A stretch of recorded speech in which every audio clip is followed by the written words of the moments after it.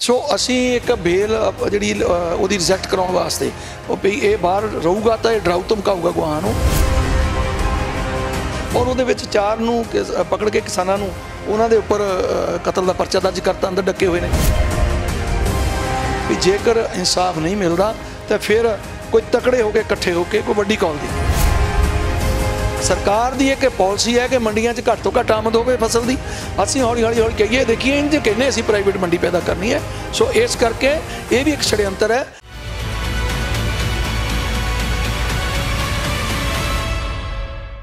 ਸਤਿ ਸ੍ਰੀ ਅਕਾਲ ਜੀ, ਤੁਸੀਂ ਜੁੜੇ ਹੋ ਗਲੋਬਲ ਪੰਜਾਬ ਟੀਵੀ ਦੇ ਨਾਲ। ਮੈਂ ਹਾਂ ਜਗਜੀਤ ਸਿੰਘ ਪੰਜੋਲੀ।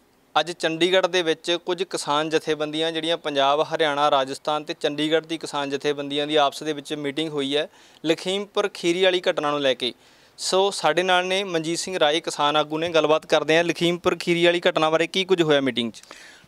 ਅੱਜ ਦਾ ਜਿਹੜਾ ਸਾਡਾ ਮੇਨ ਮੀਟਿੰਗ ਦਾ ਏਜੰਡਾ ਹੀ ਇਹ ਸੀ ਕਿ ਲਖੀਮਪੁਰ ਖੀਰੀ ਜਿਹੜੀ ਘਟਨਾ ਹੋਈ, ਉਹਦੇ ਵਿੱਚ ਜਿਹੜਾ ਮੁੱਖ ਦੋਸ਼ੀ ਹੈ ਉਹਦੀ ਜ਼ਮਾਨਤ ਹੋ ਗਈ ਔਰ ਉਹ ਜ਼ਮਾਨਤ ਤੇ ਆ ਕੇ ਬਾਹਰ ਉਹਨੇ ਜਿਹੜੇ ਗਵਾਹ ਨੇ ਸਾਡੇ ਮੇਨ ਉਹਨਾਂ ਨੂੰ ਡਰਾਉਣਾ ਧਮਕਾਉਣਾ ਸ਼ੁਰੂ ਕਰਤਾ।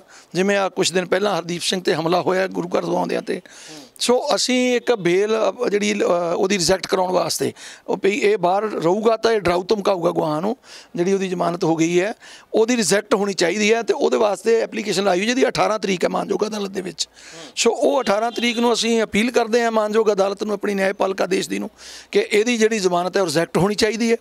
ਔਰ ਜਿਹੜੇ ਉੱਥੇ ਦੇ ਪੀੜਤ ਪਰਿਵਾਰ ਨੇ ਔਰ ਜਿਹੜੇ ਅੰਦਰ ਡੱਕੇ ਹੋਏ ਨੇ ਬਿਨਾਂ ਗੱਲ ਤੋਂ ਕਿਉਂਕਿ ਉਹ ਉਹਨਾਂ ਨੇ ਕੋਈ ਕਤਲ ਨਹੀਂ ਕੀਤਾ ਉਹ ਤਾਂ ਸੈਲਫ ਡਿਫੈਂਸ ਦੇ ਵਿੱਚ ਇੱਕ ਹਾਦਸਾ ਹੋ ਗਿਆ। ਔਰ ਉਹਦੇ ਵਿੱਚ ਚਾਰ ਨੂੰ ਪਕੜ ਕੇ ਕਿਸਾਨਾਂ ਨੂੰ ਉਹਨਾਂ ਦੇ ਉੱਪਰ ਕਤਲ ਦਾ ਪਰਚਾ ਦਰਜ ਕਰਤਾ ਅੰਦਰ ਡੱਕੇ ਹੋਏ ਨੇ। ਸੋ ਉਹਨਾਂ ਦੇ ਪਰਿਵਾਰਾਂ ਨੂੰ ਮਿਲਣ ਵਾਸਤੇ ਇੱਕ ਵਫਦ ਜਾਏਗਾ ਇਹ ਮੀਟਿੰਗ 'ਚ ਅੱਜ ਤੈਅ ਕੀਤਾ ਜਿਹੜਾ ਕਿ 25 ਤਰੀਕ ਨੂੰ ਇਸ ਨੂੰ ਹੀ ਅ, 25 ਆਉਣ ਵਾਲੀ ਜਿਹੜੀ ਹੈ। ਫੈਸਲਾ 18 ਨੂੰ ਹੈਗਾ ਤੇ ਅ, 25 ਤਰੀਕ ਨੂੰ ਜਾਣ ਦੀ ਗੱਲ ਕੀਤੀ। 25 ਤਰੀਕ ਨੂੰ ਜਾਣ ਦੀ ਗੱਲ ਕੀਤੀ ਹੈ। ਜੇ ਰਿਜੈਕਟ ਵੀ ਹੋ ਜਾਂਦੀ ਹੈ ਉਹਦੀ ਜ਼ਮਾਨਤ ਫਿਰ ਵੀ ਜਾਵਾਂਗੇ ਕਿਉਂਕਿ ਅਸੀਂ ਉਹ ਜਿਹੜੇ ਪੀੜਤ ਪਰਿਵਾਰ ਹੈ, ਉਹਨਾਂ ਨੂੰ ਮਿਲਾਂਗੇ। ਜਿਹੜੇ ਉਹ ਨੌਜਵਾਨ ਅੰਦਰ ਡੱਕੇ ਹੋਏ ਨੇ, ਉਹ ਉਹਨਾਂ ਦੇ ਪਰਿਵਾਰਾਂ ਨੂੰ ਔਰ ਉਹਨਾਂ ਨੂੰ ਵੀ ਮਿਲਾਂਗੇ। ਔਰ ਉੱਥੇ ਦੇ ਲੋਕਲ ਸੰਗਠਨ ਹੈ, ਉਹਨਾਂ ਨੂੰ ਵੀ ਮਿਲ ਕੇ ਆਵਾਂਗੇ ਵੀ ਜੇਕਰ ਇਨਸਾਫ ਨਹੀਂ ਮਿਲਦਾ, ਤਾਂ ਫਿਰ ਕੋਈ ਤਕੜੇ ਹੋ ਕੇ, ਇਕੱਠੇ ਹੋ ਕੇ ਕੋਈ ਵੱਡੀ ਕਾਲ ਦੇਈਏ। ਰਾਏ ਸਾਹਿਬ, ਅਗਲਾ ਸਵਾਲ ਮੇਰਾ 32 ਕਿਸਾਨ ਜਥੇਬੰਦੀਆਂ ਦੇ ਬਾਬਤ ਹੈਗਾ। ਲੋਕ ਭੰਬਲ ਭੁੱਸੇ ਦੇ ਵਿੱਚ ਨੇ ਹੁਣ। ਪੰਜਾਬ ਦੇ ਲੋਕ ਲਾ ਲਓ ਜਾਂ ਜੋ ਕਿਸਾਨੀ ਅੰਦੋਲਨ ਨਾਲ ਜੁੜੇ ਹੋਏ ਸੀਗੇ, ਵੀ ਹੁਣ ਜਥੇਬੰਦੀਆਂ ਕਿੱਥੇ ਕਿੱਥੇ ਖਿੰਡੀਆਂ ਹੋਈਆਂ ਨੇ? ਕੋਈ ਗੱਲ ਨਹੀਂ, ਇਹ ਦੇਖੋ ਥੋੜੇ ਵੱਖਰੇ ਹੋਏ ਸਨ। ਜਦੋਂ ਰਾਜਨੀਤੀ ਦੇ ਵਿੱਚ ਇੱਕ ਐਸਐਸਐਮ ਬਣਿਆ ਹੈ। ਔਰ ਬੇਸ਼ੱਕ ਸਾਡੀ ਜਥੇਬੰਦੀ ਨੂੰ ਵੀ ਉਹਨਾਂ ਬਾਈਆਂ 'ਚ ਗਿਣ ਲਿਆ ਸੀ। ਅਸੀਂ ਤਾਂ ਇੱਥੇ ਵੀ ਕਹਿ ਦਿੱਤਾ ਸੀ ਉਦੋਂ ਵੀ ਕਿ ਅਸੀਂ ਸਾਡੀ ਜਥੇਬੰਦੀ ਇਲੈਕਸ਼ਨ ਨਹੀਂ ਲੜਦੀ। ਇਹ ਠੀਕ ਹੈ ਕਿ ਵੋਟ ਤਾਂ ਆਪਾਂ ਕਿਸੇ ਨੂੰ ਪਾਉਣਾ ਹੀ। ਹੈ ਤੇ ਇਸ ਕਰਕੇ ਵੋਟ ਅਸੀਂ ਭਾਈ ਕਿਉਂ ਆਪਣੇ ਉਹਨਾਂ ਨਾਲ ਪਾਈ ਜਿਹਨਾਂ ਸਵਾ ਸਾਲ ਰਹੇ ਆ ਤੋਂ ਇਸ ਕਰਕੇ ਸਾਨੂੰ ਉਹਨਾਂ ਦੇ ਵਿੱਚ ਗਿਣ ਲਿਆ ਸੀ ਪਰ ਕੋਈ ਗੱਲ ਨਹੀਂ ਅ, ਜੋ ਐਸਕੇਐਮ ਸੁਪਰੀਮ ਹੈ ਅਸੀਂ ਉਹਨੂੰ ਸੁਪਰੀਮ ਮੰਨਦੇ ਹਾਂ ਜੋ ਉਹਦਾ ਫੈਸਲਾ ਸੀ ਅਸੀਂ ਸਿਰ ਮੱਥੇ ਮੰਨਿਆ। ਪਰ ਹੁਣ ਅਸੀਂ ਉਹਨਾਂ ਨੇ 4 ਮਹੀਨੇ ਵਾਸਤੇ ਕਿਹਾ ਸੀ ਵੀ ਇਹਨਾਂ ਨੂੰ ਰੈਸਟ ਵਾਸਤੇ ਭੇਜਿਆ। ਤੇ ਅਸੀਂ ਉਹ ਬਾਈਆਂ ਦੇ ਵਿੱਚੋਂ 16 ਨੇ ਯਾਨੀ ਕਿ ਜਿਹੜੀਆਂ 32 ਸਨ ਪੰਜਾਬ ਦੀਆਂ ਪਹਿਲੀਆਂ ਉਹਨਾਂ ਚੋਂ 16 ਨੇ ਇੱਕ ਇਕਮਤ ਹੋ ਕੇ ਕਹਿ ਦਿੱਤਾ ਕਿ ਅਸੀਂ ਗੈਰ ਰਾਜਨੀਤਿਕ ਹੈ। ਸੋ ਇਹ ਹੁਣ ਜਿਹੜਾ ਰਾਜੇਵਾਲ ਸਾਹਿਬ ਜਾਂ ਐਸਐਸਐਮ ਦੇ ਜਿਹੜੇ ਪਾਰਟ ਨੇ ਉਹ ਫੈਸਲਾ ਆਪਣਾ ਲੈਣ ਅਸੀਂ ਉਹਨਾਂ ਨੂੰ ਅਪੀਲ ਕਰਦੇ ਹਾਂ ਕਿ ਐਸਐਸਐਮ ਭੰਗ ਕਰੋ ਤੁਸੀਂ ਵੀ ਆਓ। ਰਾਜੇਵਾਲ ਸਾਹਿਬ ਦੀ ਕੁੰਡੀ ਕਿੱਥੇ ਅੜੀ ਹੋਈ ਆ? ਉਹ ਉਹ- ਉਹਨਾਂ ਦੀ ਜਥੇਬੰਦੀ ਦੀ। ਉਹ ਹਜੇ ਕੋਈ ਕਲੀਅਰ ਫੈਸਲਾ ਉਹ ਨਹੀਂ ਦਿੱਤਾ ਨਹੀਂ। ਉਹ ਇਹ ਵੀ ਕਹਿ ਦਿੰਦੇ ਨੇ ਕਿ ਮੇਰੇ ਲਈ ਐਸਐਸਐਮ ਕੋ ਵੱਡੀ ਗੱਲ ਨਹੀਂ। ਪਰ ਇਹ ਵੀ ਕਹਿ ਦਿੰਦੇ ਨੇ ਕਿ ਮੈਂ ਹਜੇ ਐਸਐਸਐਮ ਨਹੀਂ ਛੱਡਣਾ। ਪਰ ਉਹ ਅਸੀਂ ਉਹਨਾਂ ਨੂੰ ਕਿਹਾ ਵੀ ਕਲੀਅਰ ਕੱਟ ਤੁਸੀਂ ਛੱਡ ਕੇ ਆਓ। ਫਿਰ ਐਸਕੇਐਮ ਦਾ ਪਾਰਟ ਉਸੇ ਤਰ੍ਹਾਂ ਆਪਾਂ ਸਾਰੇ ਹੈਗੇ ਆ ਕਿਉਂਕਿ ਲੀਡਰ ਕੋਈ ਵੀ ਆ ਉਹ ਸਿੱਧੇ ਰੂਪ ਦੇ ਵਿੱਚ ਹਿੱਸਾ ਨਹੀਂ ਬਣ ਸਕਦਾ ਸੰਯੁਕਤ ਕਿਸਾਨ ਮੋਰਚੇ ਦਾ। ਇਹੀ ਕਹੀ ਗਏ ਸਵਾ ਸਾਲ ਆਪਾਂ ਕਿ ਆਪਾਂ ਗੈਰ ਰਾਜਨੀਤਿਕ ਗੈਰ ਰਾਜਨੀਤਿਕ ਹੈ ਜੇ ਉੱਥੇ ਗੈਰ ਰਾਜਨੀਤਿਕ ਹੈ ਤਾਂ ਹੁਣ ਵੀ ਗੈਰ ਰਾਜਨੀਤਿਕ ਬਣ ਕੇ ਲੜੀਏ। ਉਹਦੇ ਛੱਡ ਕੇ ਆਉਣਾ ਪਊ। ਬਿਲਕੁਲ ਅਸੀਂ ਉਹਨਾਂ ਨੂੰ ਇਹ ਕਿਹਾ ਵੀ ਤੁਸੀਂ ਐਸਐਸਐਮ ਦਾ ਜਿਹੜਾ ਉਹਦਾ ਉਹਨੂੰ ਤਿਆਗ ਦਿਓ ਨਹੀਂ ਤਾਂ ਹੁਣ ਸਾਡੇ ਨਾਲ ਕਾਮਰੇਡ ਜਥੇਬੰਦੀਆਂ ਨੇ। ਉਹ ਸਾਰੀਆਂ ਦੇ ਹੀ ਪੋਲੀਟੀਕਲ ਵਿੰਗ ਹੈਗੇ ਨੇ। ਤੇ ਇਧਰ ਇਹ ਜਨਤਕ ਜਿਹੜੀਆਂ ਜਥੇਬੰਦੀਆਂ ਨੇ ਇਹ ਇੱਥੇ ਕੰਮ ਕਰ ਰਹੀਆਂ ਨੇ ਐਸਕੇਐਮ ਦੇ ਵਿੱਚ। ਸੋ ਇਹ ਸਮਝਦੇ ਆ ਅਸੀਂ ਉਹਨਾਂ ਨੂੰ ਕਿਹਾ ਤੁਸੀਂ ਐਸਐਸਐਮ ਆਪਣਾ ਤੁਹਾਡਾ ਬਣਿਆ ਬਣਿਆ ਰਹਿਣ ਦਿਓ। ਪਰ ਤੁਸੀਂ ਜੇ ਆ ਕੇ ਵਿੱਚ ਬਹਿਣਾ ਫਿਰ ਤੁਹਾਨੂੰ ਛੱਡ ਕੇ ਆਉਣਾ ਪਊਗਾ। ਤੇ ਜਿਹੜਾ ਸੈਲੋਆਂ ਦਾ ਰੌਲਾ ਪਿਆ ਹੋਇਆ ਅਡਾਨੀਆਂ ਬਾਨੀਆਂ ਦੇ ਸੈਲੋ ਦਾ ਉਹਨੂੰ ਕਿਵੇਂ ਦੇਖਦੇ ਹੋ ਤੁਸੀਂ?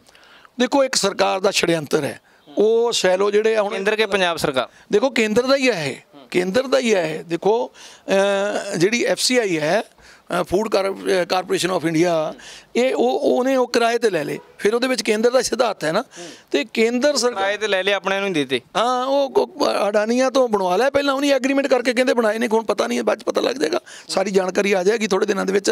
ਕਲੀਅਰ ਕਰਾਂਗੇ ਸਾਰੀ ਪਿਕਚਰ ਪਰ ਉੱਥੇ ਕਿਸਾਨਾਂ ਨੂੰ ਕਣਕ ਲਿਜਾਣ ਲਈ ਕਿਹਾ ਜਾ ਰਿਹਾ।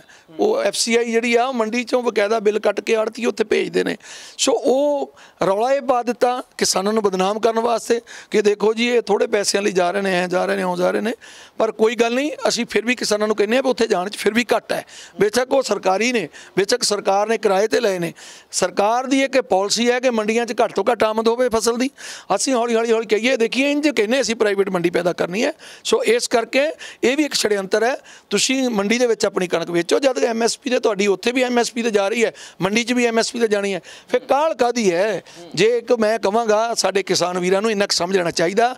ਅੰਦੋਲਨ ਦੌਰਾਨ ਨੌਕਰੀਆਂ ਬੜਬੜੀਆਂ ਛੱਡਤੀਆਂ ਲੋਕਾਂ ਨੇ। ਅੰਦੋਲਨ ਦੌਰਾਨ ਮੈਡਲ ਵਾਪਸ ਕਰਤੇ ਸਰਕਾਰ ਨੂੰ ਰਾਸ਼ਟਰਪਤੀ ਅਵਾਰਡ ਵਾਪਸ ਕਰ ਦਿੱਤੇ। ਸੋ ਆਪਾਂ ਨੂੰ ਆਪਾਂ 4 ਦਿਨ ਕਣਕ ਨਹੀਂ ਘਰੇ ਰੱਖ ਸਕਦੇ। ਇਹ ਥੋੜਾ ਜਿਹਾ ਇੰਨਾ ਕੁ ਜ਼ਰੂਰ ਵਿਚਾਰੋ ਮੇਰੇ ਵੀਰ। ਕੋਈ ਗੱਲ ਨਹੀਂ ਔਖੇ ਹੋ ਕੇ ਕਰੋ। ਔਖੇ ਹੋ ਕੇ ਕਿਸਾਨ ਤਾਂ ਰਹਿੰਦਾ ਹਮੇਸ਼ਾ ਔਖਾ ਹੈ। ਵੈਸਾ ਵੀ ਇੱਕ ਸਵਾਲ ਮੇਰਾ ਇਹ ਹੈਗਾ ਵੀ ਜਿਹੜਾ ਹੁਣ ਕਣਕ ਦਾ ਝਾੜ ਇਸ ਵਾਰ ਬਹੁਤ ਘੱਟ ਨਿਕਲਿਆ। ਉਹ ਉਹ ਲੋਕ ਜਿਹੜੇ ਕਿਸਾਨ ਨੇ ਦੁਖੀ ਨੇ ਇਸ ਗੱਲੋਂ। ਕੀ ਅਪੀਲ ਕਰੋਗੇ ਪੰਜਾਬ ਸਰਕਾਰ ਨੂੰ? ਅਸੀਂ ਤਾਂ ਪੰਜਾਬ ਸਰਕਾਰ ਨੂੰ ਵੀ ਭਾਰਤ ਸਰਕਾਰ ਨੂੰ ਵੀ ਅਪੀਲ ਕਰਦੇ ਹਾਂ। ਵੀ ਇਹ ਤੁਸੀਂ ਜਿਹੜੀ ਕਣਕ ਲਿਜਾ ਕੇ ਉੱਥੇ ਸੈਲੂਆਂ 'ਚ ਰੱਖ ਰਹੇ ਆ ਉਧਰ ਕਿਤੇ ਰੱਖ ਰਹੇ ਆ ਇਹ ਦੇਖੋ ਇਸ ਘੱਟ ਝਾੜ ਘੱਟ ਨੇ। ਮੈਂ ਉਹੀ ਕਹਿ ਰਿਹਾ ਕਿ ਇੰਟਰਨੈਸ਼ਨਲ ਮਾਰਕੀਟ ਦੇ ਵਿੱਚ ਕਣਕ ਜਿਹੜੀ ਆ ਉਹਦੀ ਸ਼ਾਰਟੇਜ ਹੈ।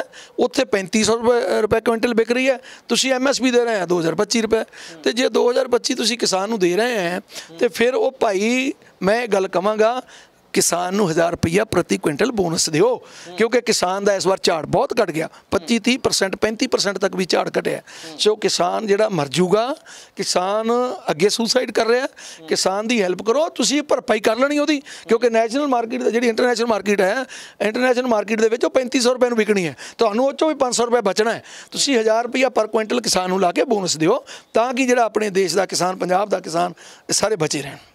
ਕਿਸਾਨਾਂ ਦਾ ਅਗਲਾ ਏਜੰਡਾ ਕੀ ਰਹੂ? ਐਮਐਸਪੀ ਦੀ ਜੰਗ ਹਲੇ ਬਾਕੀ ਆ।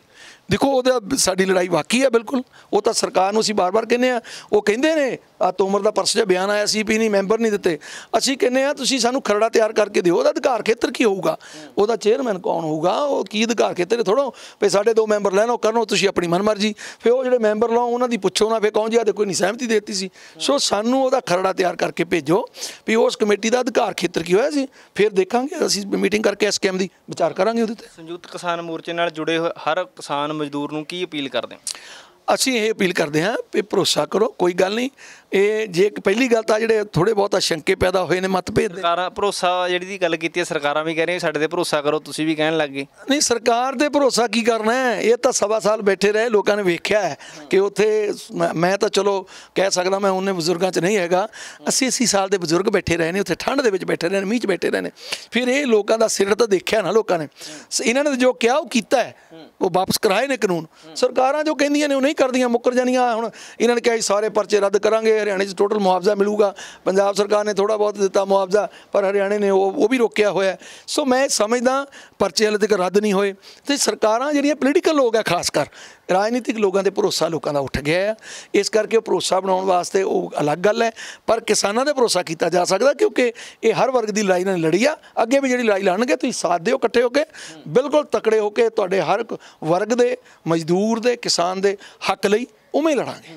ਤੁਸੀਂ ਕਿਹਾ ਵੀ ਰਾਜਨੀਤਿਕ ਪਾਰਟੀਆਂ ਤੋਂ ਲੋਕਾਂ ਦਾ ਭਰੋਸਾ ਉੱਠ ਗਿਆ। ਪਰ ਆਮ ਆਦਮੀ ਨੂੰ ਬਹੁਤ ਵੱਡਾ ਫਤਵਾ ਮਿਲਿਆ। ਉਹਨਾਂ ਦੀ 1 ਮਹੀਨੇ ਦੇ, ਅੱਜ 1 ਮਹੀਨਾ ਪੂਰਾ ਹੋ ਗਿਆ। ਕੀ ਦੇਖਦੇ ਹੋ ਕਾਰਗੁਜ਼ਾਰੀ ਨੂੰ ਮਹੀਨੇ ਦੀ? ਇਹ ਉਹਦਾ ਹੀ ਨਤੀਜਾ ਹੈ। ਉਹਦਾ ਹੀ ਨਤੀਜਾ ਹੈ, ਅੰਦੋਲਨ ਦਾ ਹੀ ਨਤੀਜਾ ਹੈ, ਕਿਤੇ ਆਮ ਆਦਮੀ ਵਾਲੇ ਆਪਣੀ ਪਿੱਠ ਨਾ ਤਪਤ ਪਾਈ ਜਾਣ। ਵੀ ਇਹਨਾਂ ਨੂੰ ਐਡਾ ਮਾਈਂਡਡ ਮਿਲ ਗਿਆ ਕਿ ਇਹਨਾਂ ਨੇ ਬਹੁਤ ਚੰਗੇ ਕੰਮ ਕੀਤੇ ਹੋਏ। ਕਹਿੰਦੇ ਨਾ ਵੀ ਦਿੱਲੀ 'ਚ ਅਸੀਂ ਆਹ ਕਰਤਾ, ਉਹ ਕਰਤਾ। ਉਹ ਦਿੱਲੀ ਵਾਲਾ ਮੈਂ ਜ਼ਿਕਰ ਨਹੀਂ ਕਰਨਾ ਚਾਹੁੰਦਾ, ਮੈਂ ਦੇਖਿਆ ਸਾਰਾ ਕੁਝ ਪਰ ਲੋਕਾਂ ਨੇ ਬਦਲ ਵੇਖਿਆ। ਜਿਹੜੇ 70 70 ਸਾਲ ਤੋਂ ਕਾਬਿਜ਼ ਸਨ ਸੱਤਾ ਤੇ, ਉਹਨਾਂ ਨੇ ਕਿਹਾ, ਅਸੀਂ ਧੋ ਕੇ ਰੱਖ ਦੇਣੇ ਇਹ ਲੋਕ। ਇਹ ਜਾਗਰੂਕਤਾ ਆਈ ਇਸ ਅੰਦੋਲਨ ਦੇ ਵਿੱਚ। ਲੋਕ ਜਾਗੇ ਨੇ।